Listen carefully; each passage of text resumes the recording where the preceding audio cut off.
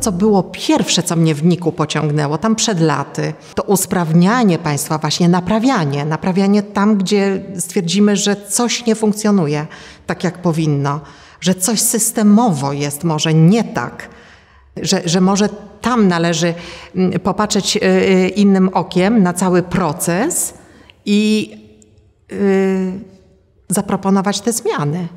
I od tego jest NIK. Piękne sformułowanie usłyszałam, będąc na aplikacji, i dlatego chociażby jednego zdania wiedziałam, że warto było przyjść tutaj. Dla mnie to było niesamowicie cenna, yy, cenna myśl, że my jesteśmy od tego, my jako NIK, my jesteśmy od tego, żeby dodawać otuchy w stosowaniu konstytucji.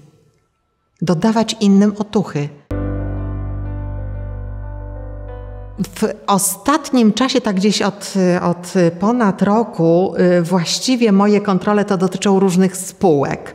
Mm, to są bardzo duże podmioty y, typu Bogdanka, Zoty. Y, no, to jest w ogóle kaliber spraw totalnie nieporównywalny z jakąś małą spółką w jakimś małe, w małej miejscowości. Ale właśnie taka mała spółka w małej miejscowości była dla mnie bardzo ciekawym doświadczeniem. Temat był niesamowicie też rozległy, bo od wynagrodzeń zarządu, rady nadzorczej, sprawdzenia tego, czy właściwie są y, naliczane te, te wynagrodzenia, y, poprzez prawa do emisji CO2, bardzo ciekawy temat. Kontrola niesamowicie szeroka mm, tematycznie. To była ta kontrola, która najwię najwięcej emocji wywołała. E, najwięcej było bojów, e, utarczek. No nie było fajnie, powiem szczerze, momentami.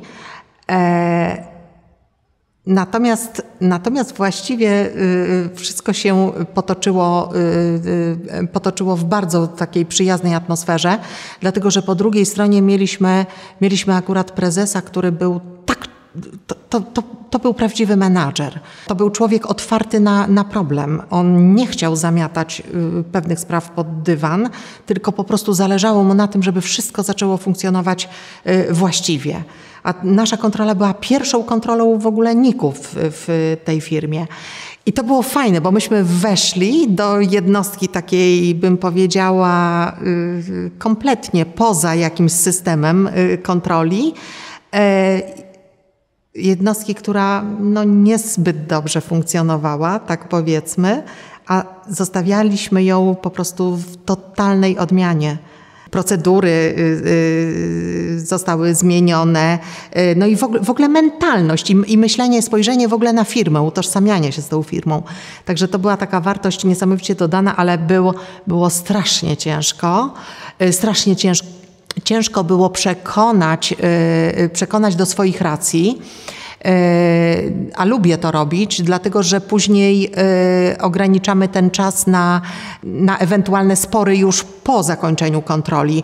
Kiedy ja przekonam do, jeszcze prowadząc te czynności kontrolne, przekonam do, do tego, że to jest źle i właściwie powinno być tak i tak, i druga strona y, podchwytuje ten tok myślenia i zaczyna wprowadzać zmiany, no to to jest, to jest fajne. I tutaj tak się zadziało, aczkolwiek, y, mówię, była, była mm, prawdziwa wojna, niemalże. Tak wymagającej kontroli to chyba jeszcze nie prowadziłam. Poczynając od y, konieczności wstawania o 4.30 rano, y, gdzie wyruszałam z domu już po 5.00 zabierałam kolegę po to, żeby o 7.00 rano meldować się y, w spółce. Często spółka była otwierana i myśmy podjeżdżali akurat. I, i właściwie z pracownikami tej spółki rozpoczynaliśmy pracę. E, a czasem kończyliśmy tę pracę wychodząc e, już z prezesem, e, gdzie już innych nawet pracowników w spółce nie było. Także niesamowicie pod tym względem męcząca kontrola, tak fizycznie po prostu, zwykle fizycznie wymagająca. No bardzo się ciężko wstaje o 4.30 w sytuacji, kiedy jeszcze dzień poprzedni był bardzo długi. Z drugiej strony, e, ta jazda tym samochodem to, był też, to były też kolejne godziny kontroli. Mogliśmy wtedy z kolegą przegadać wiele tematów, a może z tej strony, a może z tamtej, a może taką analizę, a może inną, problemy, które się pojawiały. Były przez nas po dziesiątki razy prze, przegadane w tym samochodzie. To była kontrola, która która niesamowicie mi zabrała i życia, i tego czasu wolnego, bo przecież, żeby, żeby móc, nazwijmy to, wojować, to, to trzeba mieć argumenty. A żeby mieć te argumenty, trzeba się nieźle przygotować, trzeba posiadać wiedzę, trzeba zgromadzić może nawet nową wiedzę, nabyć ją, konsultować się. No i przede wszystkim, no tak jak mówię, rozmawiać. To, to jest dla mnie, dla mnie to jest, to jest też podstawą wszystkiego, rozmowa. Tempo jest straszne, tempo jest straszne i właściwie e, to, co jest takie najbardziej może i stresogenne i, i, e, i takie, ja często czuję taki dyskomfort, że może coś bym lepiej zrobiła, bo zależy mi na jakości tej mojej pracy, to, yy, to właśnie ta presja czasu i ten cały czas wyścig z czasem wręcz. To to, to jest chyba taką największą bolączką. Mhm. Ta moja chęć taka, taka i dążenie do poznania, y, do, y, do poznania prawdy, no bo to jest właściwie prawda, jest tylko ciekawa, do y, takiego prowadzenia oglądu rzeczywistości, a na rzeczywistość to jest prawdą jakby nie było. To myślę, że tak y, zapadły mi w, w pamięć y, nomen omen z pamiętnika y, mojego takie słowa, które moja siostra już nie żyjąca teraz, starsza ode mnie, napisała mi w tym pamiętniku, a miałam wówczas 9 lat. Mm, I to było takie łacińskie przysłowie. Doktor magis eris, si quod nestis queris, si numquam quares raro magister eris. E, co w tłumaczeniu oznacza, e, będziesz bardziej wykształcony, jeśli pytasz o to, czego nie wiesz. Jeśli nigdy nie zadajesz pytań, niełatwo zostaniesz mistrzem. Właśnie ta dociekliwość i, i, takie zaparcie w sobie, że muszę, muszę to wszystko ogarnąć, bo dopiero jak, e, jak to wszystko ze sobą zestawiłam, te wszystkie fakty, dopiero się układała, układał się ten stan faktyczny e, i e, dopiero no, mogłam do jakichkolwiek wniosków dojść. Inaczej to byłby chaos totalny, w którym bym przepadła. No dużą cenę płacę, przyznaję. E, czas, który mogłabym spędzać z rodziną, po prostu poświęcam często na y, gdzieś tam doczytanie, do, na analizę y, jeszcze w domu, y, bo, bo naprawdę no, kontrole są przeróżne. W związku z tym, żeby wejść w dany temat, trzeba naprawdę gruntownie się z nim zapoznać. Dochodzę do jakiegoś poziomu wiedzy na dany temat, gdzie mogę powiedzieć: OK, już mniej więcej się orientuję, już posługuję się siatką pojęciową z danego tematu, y, już wiem o co chodzi. Y, no ale to wymaga bardzo dużo czasu. To na pewno, to, to takie są skutki, no przede wszystkim rodzinne. Co jest takie ciężkie i trudne, no te ciężary, które nosimy, te tomy i, segregatory akt kontroli, które wynosimy, musimy to dźwigać. Musimy dźwigać każdego dnia y, laptop z jakimiś tam jeszcze innymi dokumentami, które, które trzymamy ze sobą cały czas. Y, no, no i to dźwiganie takie tych ciężarów, no to to mi się kojarzy po prostu z pracą w niku i to jest rzeczywiście ciężkie, tak fizycznie ciężkie. Natomiast psychicznie, y, z takich y, psychicznie obciążających y, spraw, no to to jest no na pewno olbrzymi stres, jaki wiąże się w ogóle z prowadzeniem kontroli. I to nie tylko po stronie tej, tego podmiotu, który kontrolujemy, ale to również jest stres dla nas wejście na każdą nową jednostkę, do każdej nowej organizacji, zderzenie, poznanie kierownika danej jednostki, często są to prezesi spółek, no to jest to olbrzymi stres również dla mnie.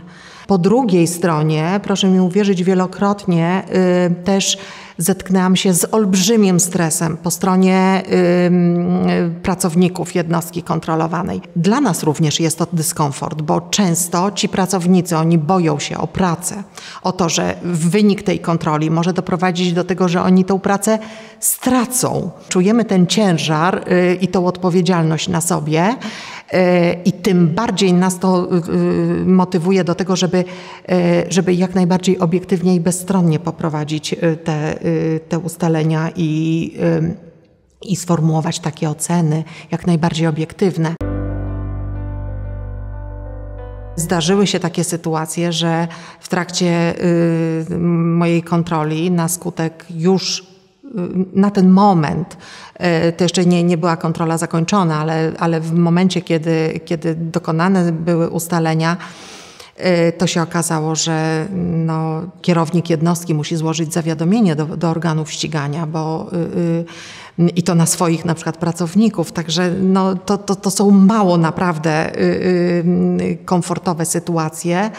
E, i jest ten moment zawahania i takich dylematów moralnych, no ale nasza kontrola e, ma polegać na ujawnieniu prawdy, na ujawnieniu przyczyn nieprawidłowości, skutków, tak żeby po prostu eliminować to, żeby, żeby już się na przykład po, po raz enty jakieś tam sytuacje nie powtarzały. Dla mnie ta niezależność jest po prostu, mm, ona jakby jest ponad, tą wartością dla mnie ponad y, wszystkimi y, pozostałymi trzema. Bez y, tej niezależności e, trudno mówić o wiarygodności e, dostarczanych informacji. E, trudno mówić o realizacji interesu publicznego, bo zapewnienie tego interesu publicznego, zagwarantowanie, czyli rozumianego jako bezpieczeństwo obywateli, między innymi, to danie im rzetelnych informacji, niezależnie od, y, od uwarunkowań. Rzetelnych to jest zgodnych z rzeczywistością, czyli danie im prawdy, a to zapewni niezależny y, kontroler. Zresztą, no, y, niezależność to jest pierwszy wyraz w misji NIK. A misją NIK jest niezależna, profesjonalna kontrola zadań publicznych w interesie obywateli i państwa niezależna. To takie myślenie, po co mi to jednak? W jakim celu to robię? E, myślę, że tak w gruncie rzeczy to robię dla, dla swoich dzieci i dla y, młodego pokolenia. To w końcu my kreujemy rzeczywistość, a my dorośli powinniśmy zapewnić im no, fajne życie. Co jakiś czas zadaję sobie pytanie, jaki jest cel tego, co robię. I pomijając te cele określone tak, tak jasno, przejrzyście y, dla danej y, kontroli, y, to y, zadaję sobie pytanie, no dobrze, ale co, co to ma wnieść? Y, co to ma przynieść dla, y, dla tej jednostki, ale przez pryzmat tej jednostki, no to dla tych ludzi. Mało tego, jeśli ci, dana jednostka no, gospodaruje tym groszem publicznym, no to w takim razie jak to się przekłada na, y, na obywateli? Czyli na każdego z nas. Mamy wpływ y, na rzeczywistość. Ja mam wpływ na rzeczywistość. E, na zmiany, e, na wprowadzanie zmian nie tylko jakichś takich namacalnych, ale również typu w jakiejś właśnie organizacji, ale również w mentalności, w podejściu ludzi do pewnych spraw, w innym patrzeniu na niektóre problemy, na, na zagadnienia. I, I, to jest dla mnie takie Myślę, że jest to wartość właśnie taka y, y, dodana z tej kontroli, gdzie jak sobie zadaję pytanie, czy warto, tak myślę, było warto.